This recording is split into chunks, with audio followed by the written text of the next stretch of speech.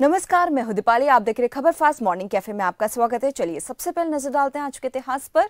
आपको बता दें कि आज के दिन साल 2008 को मुंबई पर ऐसी चरमपंथियों का हमला हुआ, जिसने दुनिया को हिलाकर रख दिया था। समुद्री रास्ते से आए चरमपंथियों ने मुंबई के Taj hotel, Oberoi hotel, Leopold cafe, Chhatrapati Shivaji terminus और नरीमन हाउस को निशाना बनाया था। चरमपंथियों ने अपने ए राइफलों से जगह जगह अंधाधुन गोलीबारी की, हथ गोले फेंके और आग लगाई गई। लगातार साठ घंटे चले इन हमलों को पूरी दुनिया ने टेलीविज़न पर देखा।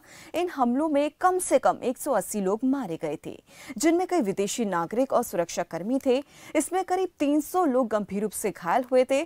जब कार्रवाई खत्म करने की घोषणा हुई तो 10 हमलावरों में से नौ मारे जा चुके थे। केवल एक हमलावर को घायल अवस्था में गिरफ़्तार किया जा चुका था।